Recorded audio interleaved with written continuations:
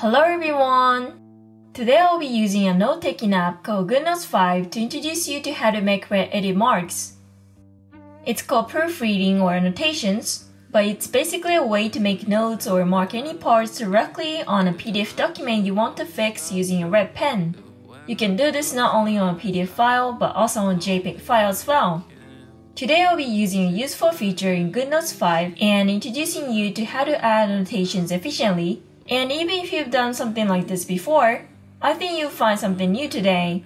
And if you happen to have never done something like this, where you always print out any PDF documents you receive, uh, add red edit marks, scan and send it over email again, I believe there's some people out there that still do this, but if you happen to be one of them, please watch this video.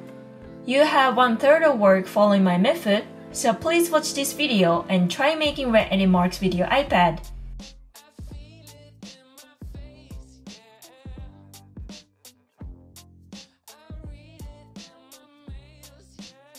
When communicating with your customers or your teammates, I assume you use a mail app or a messaging app. But this time I'm just going to assume you use the mail app to communicate and exchange PDF files.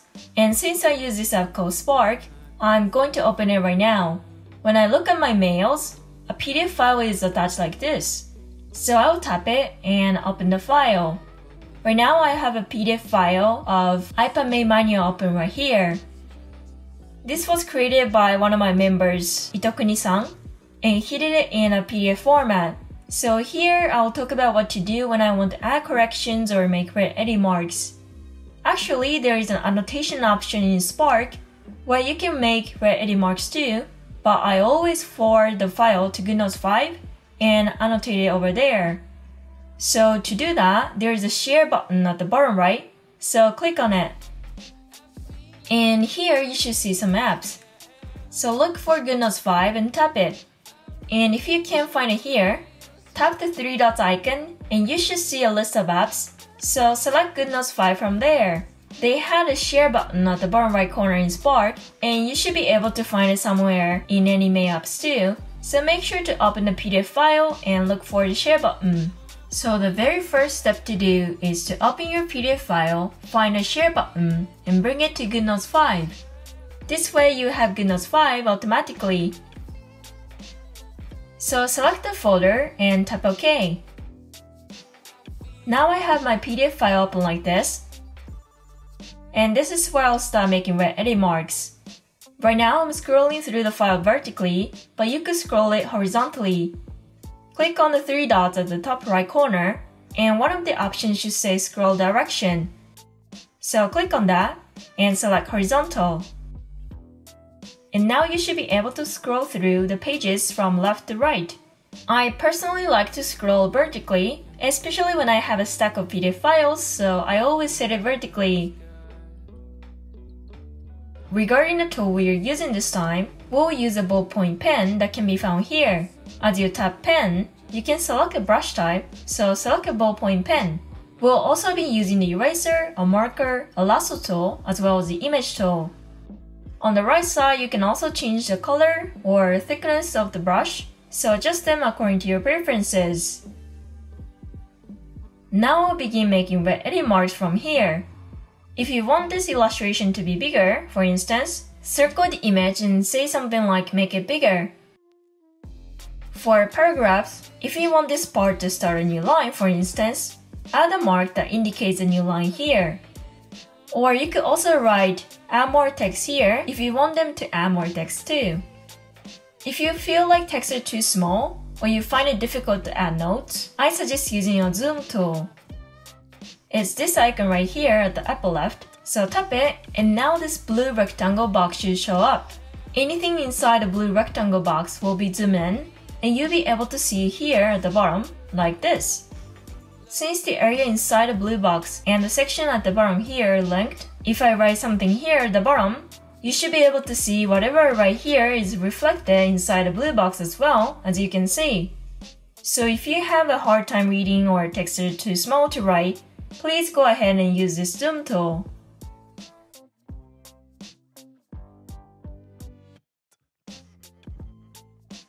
From here, it will just be adding red edit marks to any parts I want them to be fixed.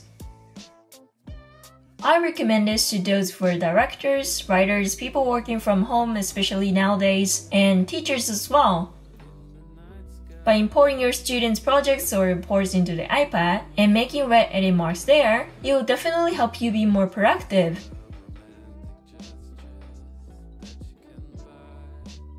In case you want to highlight any parts, use a marker.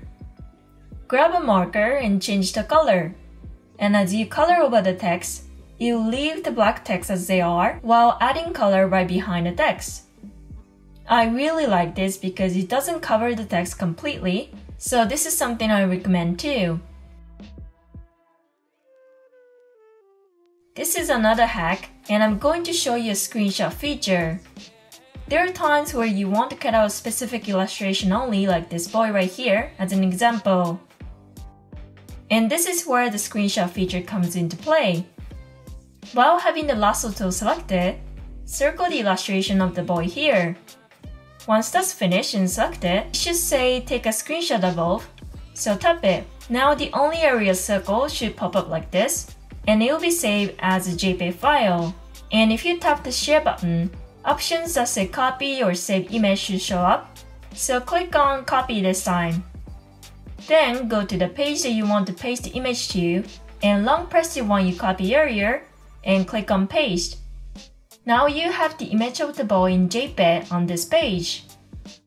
So when you want to swap a specific illustration on a specific page with the one on page 3 for instance, just use this screenshot feature and paste it. This way it makes it easier for others to understand like this. You could also leave a comment saying something like swap this image with this one. I use this screenshot feature quite often and I want all of you to make use of it too. This will definitely help you be more productive as well. Once you're done on the edit marks, the next thing to do is reply to the person who sent you the file. But when exporting a file, from the share button at the top, click on export all files. Select PDF file here, and now you can export it as a PDF file. Then click on export. Now you can choose the app of your choice. Spark in my case as I did earlier. Then you can put the email address here, but this won't let you reply to that person directly, and you have to fill in the recipient's email address again. So I don't really suggest following this method. Instead, I'm going to introduce a different way to send your file. So first, go back to the home screen. Then use the split view function to open Spark on the left or right side.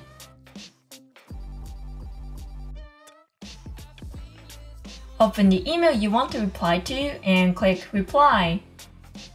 Then type in text such as please make corrections, thank you, or something like that. Then you can attach a PDF file.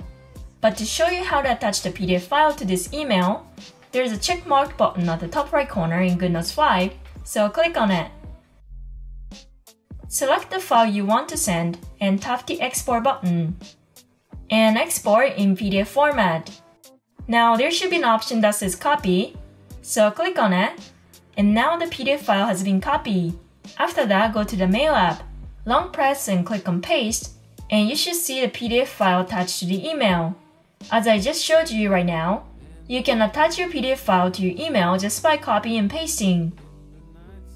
On a side note, I thought I could just drag and drop the file, but unfortunately Spark doesn't let me do that there's a chance you'll be able to do it in Apple's email app or messaging app. So if the app you are using doesn't support this function like Spark, you can simply copy and paste the file. By the way, the PDF file I just edited had 4 pages, and I sent all of them. In case you want to send only page 1 and page 3 though, if you send all, you take up more storage and it could be confusing for others to figure out which pages to be worked on, etc. So when you want to specify a page or you only want to send pages 1 or 3 of the iPadMate manual for instance and send them in PDF format, find this square mark here at the top left corner and click on it. It will show you an overview of all the pages in the file. So this is where you can choose the pages you want to send tap the select button and here you can select the pages you want to send. a check mark should show up on the pages like this. Then click on Export, select PDF, and then hit the copy button to copy. Now only pages 1 and 3 are copy, so go to the mail app on your left side and tap Paste. You should see the file with the pages you selected ready to be sent. Just like this, you can send specific pages. So that was all about showing you how to add red edit marks to the PDF file. Things are going to be a bit more advanced from here, where I'll talk about how to add annotations or red edit marks to a JPEG file or images. So I run my online community called iPadMate, and I have members submit a sort of homework or assignment every week. And for each assignment they submitted, I always add comments or red edit marks to give them some advice. There are a few tips you can use when doing something like this, so that's something I will talk about from here. If you click on New, an option called Note should pop up, so click on that to create a new note. Today I'll be using this blank, which is a plain piece of paper with no ruled lines. A blank white screen should show up, and I'm going to insert an image here. To do that, click on the image button located at the top. So tap it and a list of pictures from your camera roll should appear in little icons on the right. So click an image and it should be placed on your canvas like this.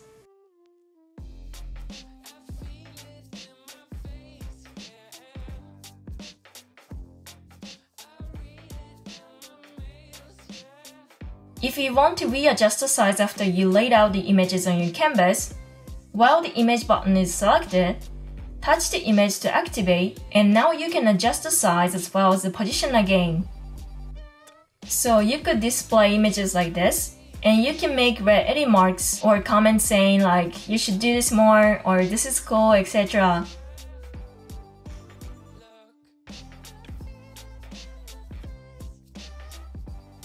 In case you want to adjust the position of text added, use the lasso tool. Click on the lasso tool which is located in the middle of the toolbar, circle around the text you want to move. Then you'll be able to change the position of the text like this. So even if you think you aren't good at writing notes nicely or they don't look good, you can always go back and adjust them. By the way, for this lasso tool, select and touch the area like this, then an option called color will show up. With this color, you could also change the color later on. This can be really useful, so please remember how to do it. Now here's something I want you to pay attention to. But let's say you want to move the red lines or text place on top of the image, like this red line here on the left. But you use the lasso tool and move the red line, the image gets moved at the same time. I used to find this a bit annoying actually, wanting to move the red line only. But there is a solution. As you click on the lasso tool, many options show up, including handwriting, image, and text box. And ones with a checkbox will move. So if I get rid of the check mark of the image, it won't move anymore, while handwritten lines and text box will still move, as you can see. For this one as well, if I select the text, only the text will move, and the image will be fixed to where it's positioned. So if you ever encounter a situation where you don't want to move an image, you can use the lasso tool and remove the check mark for the image as you make edits. On the other hand, if you get rid of the check mark for the handwriting and keep the image option turned on, the red text written will move and you'll be able to move the image only. So just like this, you can change the position or size as much as you want later on using this lasso tool. So make sure you remember how to use this lasso tool. It's very useful. At last, like I did earlier, I will attach this file to an email. But instead of sending it as a PDF file, I'll be sending it as a JPEG file this time. And this can be done a lot easier. Open your mail app on the left first then go to your GoodNotes on the right side and tap the button with four small squares. Drag and drop the second file to the mail app, and now you have the JPEG file attached like this. Apparently I can drag and drop to attach a PDF file, but it works with a JPEG file. You can use this for other messaging apps and communication tools like Slack, So I definitely suggest you remember how to attach a file using the split view function. Okay, that's all for today. What do you think? Making edits using iPad can come in really handy in many ways, so you could use it for your work or personal use. On a side note, I have some good news to share today, which is that now my iPadMate community has over 1000 members. Thank you so much everyone. It's been 6 months I've started this community, and I've been working hard thanks to my members, and I've finally reached a milestone. I believe that many of you are stuck at home due to the coronavirus, and I want to encourage everyone to do something creative at home using iPad with us. So if you're interested, come check out my community. In my community, there is always something fun going on. We communicate over the app called Slack, and it's super fun just seeing comments of my members and their updates. So if you like, please join our community. Alright, that's all for today. I hope this video helps you be more productive working from home with the use of making edit marks for your work. Let's take this time to learn and master the use of the iPad and work hard with Amity Sensei. I hope to see you in my next video. Thank you for watching and bye bye!